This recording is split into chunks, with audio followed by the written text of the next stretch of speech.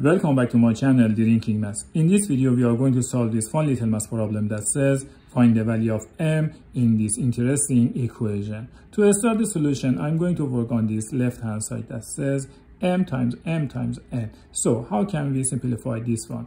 As you know, m can be written in the form of m raised to the power of 1. Also this one and this one. So what do we have here? Same base. I write one base and simply add exponent 1 plus 1 plus 1 is 3 so this is our left hand side top m cube. How about bottom? M 1 m plus 1 m plus 1 1 plus 1 plus 1 is 3 m. This is our left hand side right hand side 6 6 can be written in the form of 6 over 1 now i'm going to use cross product and continue the solution.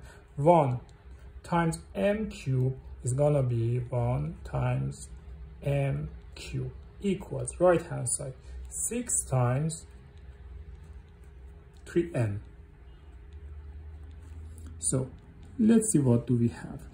Left hand side 1 times m cube is m cube. Right hand side 6 times 3 18 m. Now I'm going to transpose this 18m to the left hand side. It is going to be m cube minus 18m equals 0.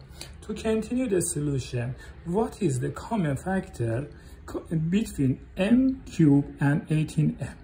Absolutely m. So I write m here, I factor m out of this expression. It is going to be m cube divided by m is m squared minus 18m divided by m is 18 equals 0. What do we have here? If the product of two factors is 0, at least one of them must be 0. So I use this and write this m equals 0 or m squared minus 18 equals 0. So this one can be our answer, but I don't know this is the valid answer or not. And how about this one? m squared minus 18. To continue the solution and solve this, I'm going to rewrite this 18 in the form of second root of 18 to the power of 2. Look, they are same. These two as exponent, these two square root can be cancelled off. So 18 can be written in the form of second root of 18 to the power of 2. So it is going to be m squared minus second root of 18 to the power of 2 equals 0. Now to continue the solution, I am going to follow this algebraic identity that says a squared minus b squared can be written in the form of a minus b times a plus b. Right, I'm going to follow this structure to continue the solution. So our expression, our equation is going to be first term m minus second term square root of 18 times first term m plus second term square root of 18 equals 0. Again, the product of two factors is 0.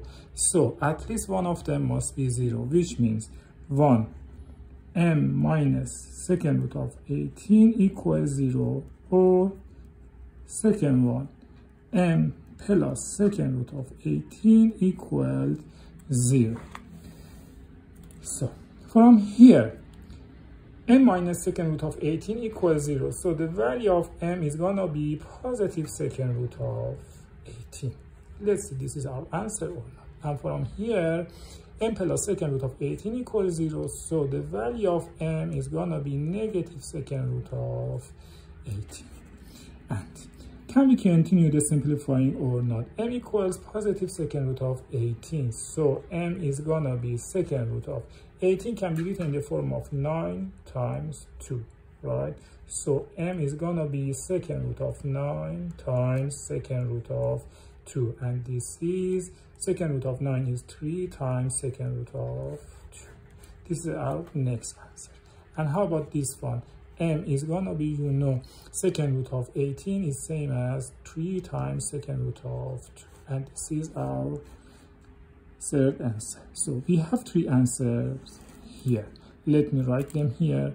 M equals 0 answer number 1 m equals 3 times second root of 2 answer number 2 and last one m equals negative 3 times second root of 2 answer number 3 now are them the valid answers or not to see they are valid answer or not, we need to plug them in our original equation and check them. What was our original equation? Let me write it. It was m times m times m over m plus m plus m equals 6. And we have three answers that they are m equals 0. So let's check this first one. I plug 0 here, it is gonna be 0 times 0 times 0 over 0 plus 0 plus 0 equals 6. So on top 0, bottom 0 equals 0. What is 0 over 0? 0, no. This is undefined. Equals 0. It is possible? Absolutely not. So m equals 0 cannot be our answer. Next one, m equals 3 times second root of 2.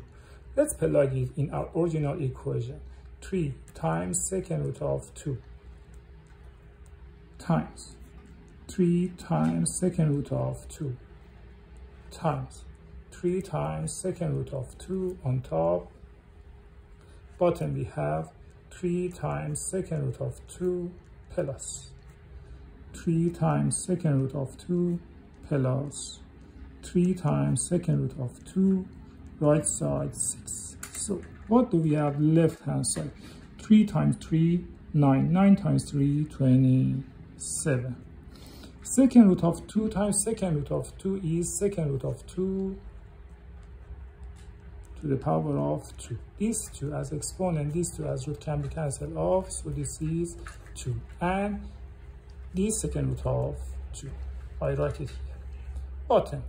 3 plus 3 6 plus 3 9 so we have 9 times second root of 2 left hand side right hand side we have 6 9 divided by 9 1 27 divided by 9 3 so it is going to be 3 times 6 3, 3 times 2 6 times second root of 2 top bottom second root of 2 equals 6 so this second root of 2 and this second root of 2 can be cancelled off. 6 equals 6 so m equals 3 times second root of 2 is our valid answer. And last one m equals negative 3 times second root of 2 let's see this is our valid answer or not. So i'm going to plug it in our original equation, it is going to be negative 3 times second root of 2 times. Negative 3 times second root of 2 times negative 3 times second root of 2 over negative 3 times second root of 2 plus negative 3 times second root of 2 plus negative 3 times second root of 2 equals 6. So what is this? Negative times negative, positive, positive times negative, negative. I write negative here. 3 times 3, 9, 9 times 3, 27. I write it here. And second root of 2 times second root of 2 is to be 2. And this second root of 2 over negative 3 plus negative 3 negative 6 plus negative 3 negative 9 times second root of 2 equals 6 let's see they are equals or not so negative 9 divided by negative 9 is 1 negative 27 divided by negative 9 is 3 3 times 2 6 what do we have here? Second root of 2 top. Bottom we have second root of 2 right side 6 now this second root of 2 and this second root of 2 can be cancelled off. So 6 equals 6 so we can say this one which means m equals negative 3 times second root of 2 is our valid answer. So our equation has two answers. m equals 3 times second root of 2 and m equals negative 3 times second root of 2 remember if you use different way to solve this question please let me know. It always makes me happy to see how creative you guys can be. Have fun